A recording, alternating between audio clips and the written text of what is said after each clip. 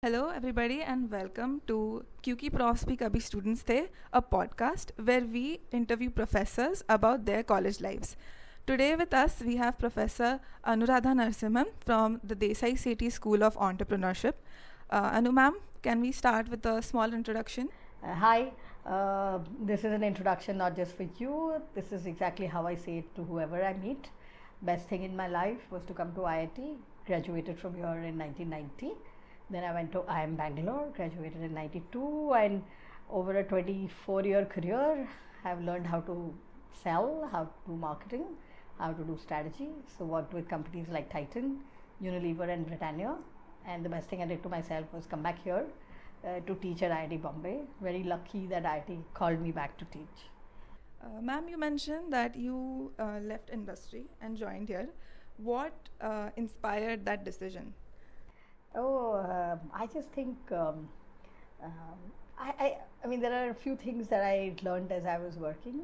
I missed um, uh, the entrepreneurship bus because uh, we were children of the liberalization. Graduated in '92. I think Manmohan Singh was the chief guest at the IIMB convocation that year, so was never short of jobs. People chased us for jobs, and that meant you didn't do your own thing. I will do mine when I'm 60, I think. The other thing I realized as I was working was uh, uh, just teaching, uh, including people in my team, was something I found very satisfying. Um, so uh, I was the chief marketing officer at Britannia. Uh, the next job would have been CEO. I guess I ran away from the CEO job. Uh, I started studying for a PhD wanted to learn new things so i quit my job started a phd at the age of 48 i think finished my phd and i joined iit at roughly the same time. I was also volunteering a lot uh, at iit as an alum. So raised money um, came and did projects here some in clean energy some in entrepreneurship some in uh, the gender cell. I tried doing branding at IIT and realized it's it's too large a thing to take up and so on. So yeah, it was very fascinating to be back. Really nice to be back. And like I said, best thing I did to myself, talking to 20 year olds, contributing to their ideas. Can't think of anything better to do. Okay, so it's probably been a while since you were a student and now you're a professor. So, what was hostel life uh, like when you were a student compared to what you hear you know about it now.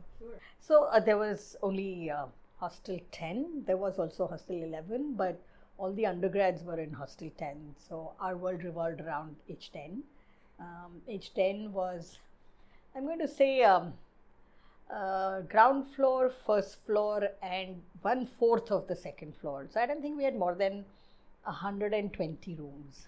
In my batch, we had 310 students total, which is all departments put together, and know the numbers almost 1400 in an undergrad batch now.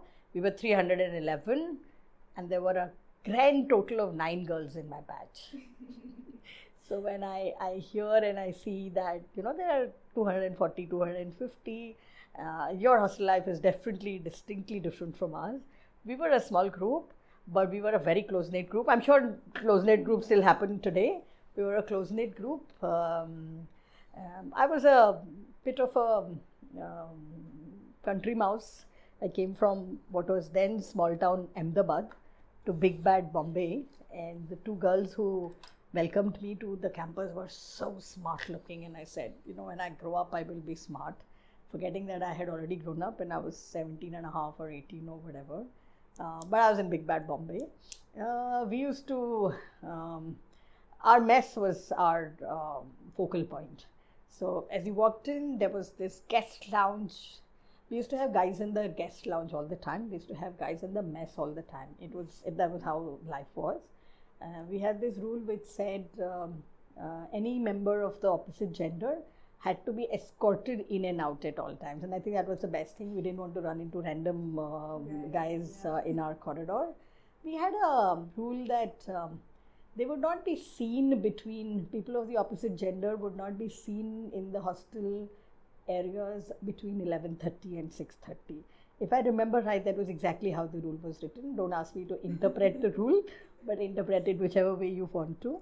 I think the biggest difference I see today is we didn't have any technology. Right? So our only technology was uh, a television. Television, uh, shared television uh, in our hostel lounge. I don't even remember if we watched too much of it. There was a nice music room, uh, uh, which was, I think, more a place that people hung out in. But our mess, crosswords, just chatting were the things we did.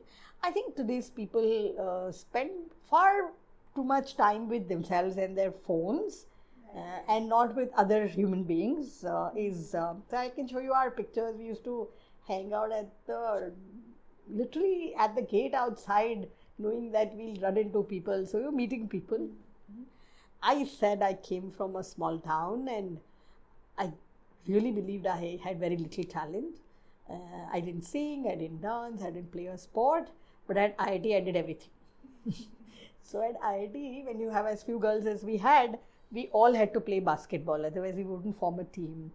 so you know, I'm all of five feet one inch, but uh, played basketball. Went for inter IIT Chennai, and uh, no, IIT Chennai is what I remember.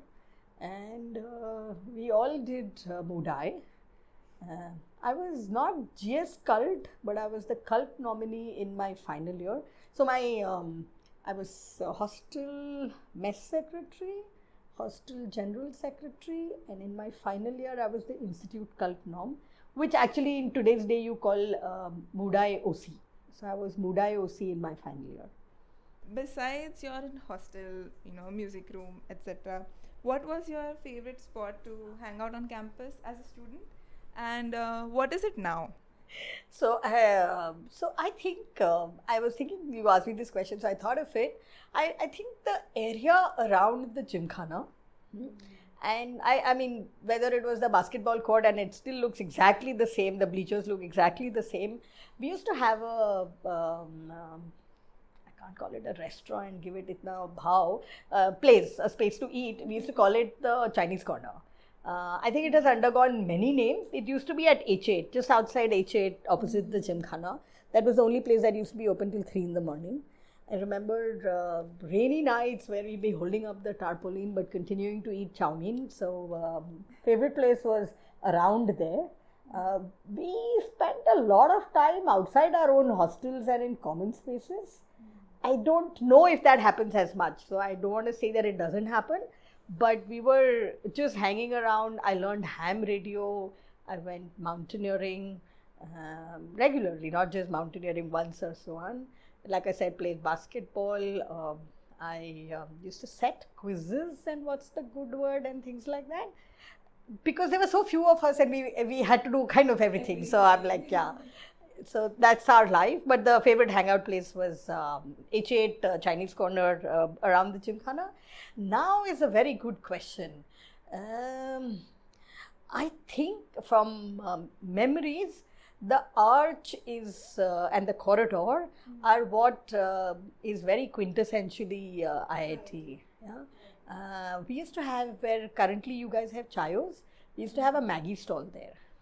I think Maggi got launched around the time that we were third year or final year. There was a Maggi, Nescafe Maggi stall another favorite place. So somewhere where Chaayos is uh, is my favorite, although I miss my Maggi or whatever. If I told you we had a telephone exchange right next to the Chaayos stall, and to uh, call home, you had to do a trunk call. Most of you will not even understand what these things mean.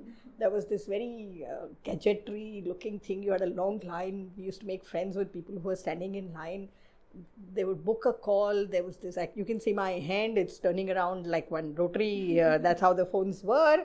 So, um, getting a library book at 10 p.m. was not my scene. I was not a nerd who did library as much.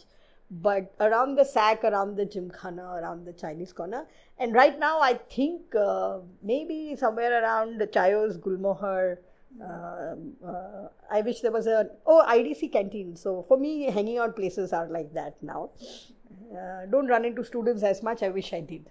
You also mentioned that you know students spend a lot of time with themselves, and it may or may not be because of you know the technological revolution and so much of our um, even discussions with professors they happen on Moodle, and grades are all online. There are some exams which are online. So, what do you think uh, the students miss when the technological age has come along? I guess. So we used to use this word called cacksession, uh, spelled C A C K, and you might learn some old lingo from us. So CAC sessions were just uh, too much at. Uh, uh, they'd go from, I don't know, wherever to wherever, I can't even remember. So I think those were what, and um, um, I don't think, uh, at least let me talk for myself, I'm not talking about the group, but um, I really used to enjoy just meeting people. I use this word, I don't know if it's derogatory or not, but derogatory or not, but putting people. So meeting people and making friends was my thing, and that's what I uh, I think um, that, uh, and I do it myself. So I'm in touch with old friends on WhatsApp or Facebook or seeing influencers on Insta and saying, "Oh, I wish I looked like that," or so on.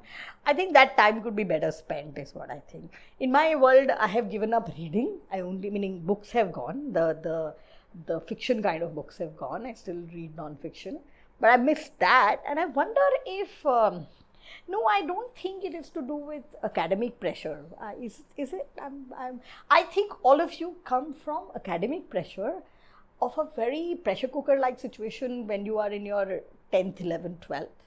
Uh, maybe even earlier, I don't know. So I don't know whether, and maybe, you know, now that I'm on the other side, I don't think profs are giving you too much trouble, is what I'm going to say. But I think you have experienced higher pressure. So I don't know, maybe I'm wrong. We all come here, and, and I'll tell you my story. I came here, I was, of course, all of us who come here have been first rank in our schools, or first three ranks in our school, or first whatever ranks in our school. We had a physics prof who ran the quiz very early in the semester.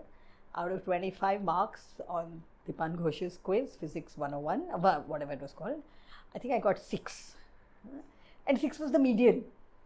Six was the median or the mode or whatever and said, This is it. This is how life is going to be. Of course, I had a friend who got 18, and I looked at her and said, Wow. But I was happy with my six. So I was I, I write about this. I was about life maximization. Didn't want to just be a academic and so on. So life maximization, that uh, life lesson you can learn from me anytime. Okay. Speaking of some Insta lingo, before we do our quiz, why don't you tell us some of your Insta lingo. So I actually made a mug which had all the old lingo of our time. So CAC is, I already told you, we had a word called D not, D hyphen not, which meant dhanda not, huh? which I think the Hindi word we use is lukha or whatever. There was another word which was NBD, so people were nabdu or they were having nervous breakdowns. But our nervous breakdowns were uh, just a thing, you know. I mean, you could get a nubbard over anything. Valentine's Day is coming. Should I send a uh, eclair or shall I send a dairy milk chocolate is enough to get nubbard. So I'm just telling you the scale of nubbard or nabdu was like, but of course there were some who were more academically uh, and so on. Mm, I think those are the ones I uh, mm, like the most or I at least remember the most. Uh, I've learned a couple now, but let me try the ones you will give me. Okay, so I have four new words for you. Uh, I think the first one you might know. Let's start off easy. RG. Oh, RG is the same. RG is the same. Didn't believe too much on it. Relative grading is the expansion, but RG is RG. I don't think RG has an expansion. and RG doesn't have to be academics. RG can be can I get to eat food before you and get the better helping can be also RG. So RG is just you know getting ahead or whatever. Huh? That's right. Uh, second one, BT. Oh, mm, BT.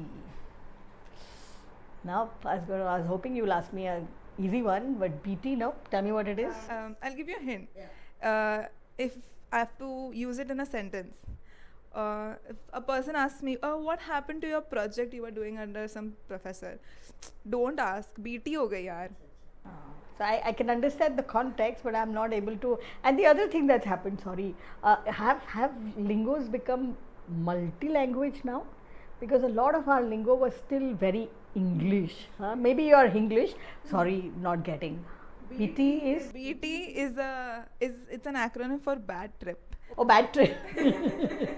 okay, BT हो गया. Okay, got that. BT हो गया. हाँ, yeah. The third one, again, I think you might know this one. Farra. Oh, Farra sounds like um, um, Lukha, take for a ride, that kind of a zone? No? No. Uh, is, uh, no, it's definitely not boasting. Is it pulling a fast one? I'll give you a hint. Uh, I totally messed up my endsem for MA 105. I hope I don't get a Farra. Oh, okay, okay, okay. Oh, it's a FR. Yes. I didn't know an FR was called a FARA. Okay. I hope there are very few faculty who give you a FR. Okay. Uh, the fourth one, Machaks. Oh, I, I don't know whether that comes from the slang macha. Is that where it comes from? From, from it's a Hindi slang. Machaks, no. Machan that I know is a more South Indian slang than a Hindi slang. Is it like dude? Is it like dude or no? Buddy or dude or whatever? No. What else is Hindi? Machaks. Acha, machade. Is that where it comes Yes. from? It comes from that? Oh, machade. nice, nice. So, okay, then I can. So, say, use it in a sentence? So if one of your friend gets a very good internship in say a big day, yeah, Machaks ho gaya. So it's a it's very common to post your friends' pictures on Instagram with like internship company Machaks. Machaks, okay. I'll tell you the one that I learned. I don't know if you have it, but go ahead. Do you have another or no? So I was teaching in class, and I teach this thing called uh, Maslow's hierarchy of needs, and it starts with basic needs and psychological needs and so on. So I teach a word called self-esteem, and I could see my students, they are first-year students I teach, and then one uh, student said, "Oh, you mean flex?" And I'm like, okay, uh, whatever. And he didn't say flex, he said flax. Uh, so it was like, oh, she say, you're saying that I am getting flex out of it. I'm like, whatever you're getting out of it, your face is telling me you've understood. But I love flex, so I use the word flex quite often now. Uh, okay. So moving on from our little quiz, let's go to some more serious questions.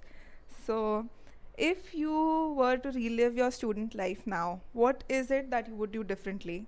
And what advice would you give your past self or your current students? So this answer I know because it's genuinely what I have. Uh, it's not a regret, but I, I wish I had done this kind of thing. So I said life maximization was my goal. I wanted to do this and I wanted to do that and so on. I did uh, as a civil engineering student. Um, happy classes, uh, easy classes. I don't know how they are today. And I graduated without too much effort with a 7.53. huh?